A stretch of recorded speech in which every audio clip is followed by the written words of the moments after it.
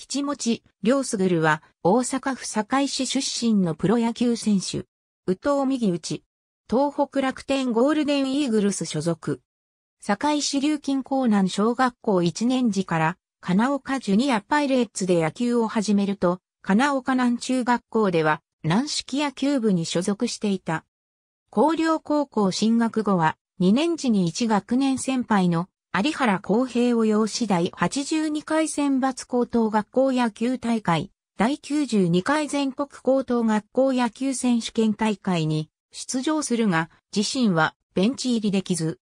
2年秋からサードでレギュラーを獲得するも、3年の夏は広島県大会3回戦で近代福山高校に敗れた。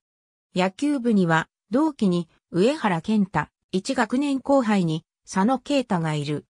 大阪商業大学に進学すると、1年春から出場機会を得て、2年の春と秋にはサードでベストナインを獲得し、2年の秋はが、共産大を5から0で下し、大正大の42期ぶりの優勝に貢献した。4年の春には打率439で首位打者を獲得し、ショートで初のベストナインに輝いた。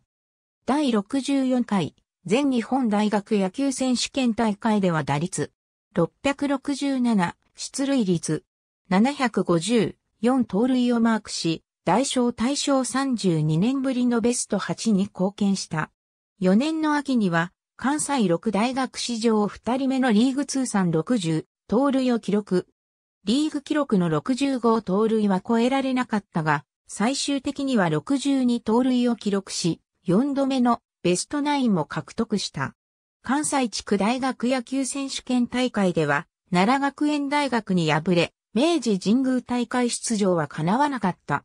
リーグ通算打率263、312打数82安打。野球部には2学年先輩に、桂より、橋爪大輔、近藤大明、1学年先輩に、金子城、同期に、岡田明だけ、3学年後輩に、大田光、滝野要がいる。2015年のプロ野球ドラフト会議で、東北楽天ゴールデンイーグルスから2巡目で指名。契約金7000万円、年俸1200万円という条件で入団した。背番号は2。2016年、春季キャンプの途中から1軍に合流すると、オープン戦の終了まで帯同。3月中旬の時点で打率が3割台に達するほど好調だったが、公式戦の開幕を一軍で迎えるまでには至らなかった。4月20日の対オリックスバファローズ戦、延長12回裏に、増田慎太郎の代走として一軍にデビュー。5月27日の対北海道、日本ハムファイターズ戦では、2番、二塁手としてスタメンに起用されると、4回裏の第2打席で、吉川光夫から一軍での初安打を放った。NPB の一軍公式戦では48年ぶりに同一チームの新人野手4人がスタメンに名を連ねた5月31日の第阪神タイガース戦では一軍で初めての複数安打を記録している。6月19日にはシーズン2度目の出場選手登録抹消。6月28日には読売ジャイアンツとのイースタンリーグ公式戦6回裏の打席で支給を受けたことによって、右尺骨の茎状突起を骨折した。全治におよそ2ヶ月を要したことなどから、シーズン中の一軍復帰はならなかった。レギュラーシーズン全体では、一軍公式戦21試合に出場。打率、161、1打点、1盗塁を記録した。オフの10月12日に、第1回 WBSCU-23 ワールドカップの日本代表に選出された。同大会で優勝を果たした。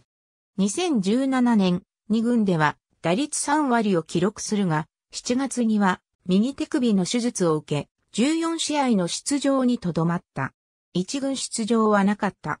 2018年、怪我により1軍出場なしに終わる。球団より戦力外通告を受け、育成選手として再契約。背番号は008になることが決まった。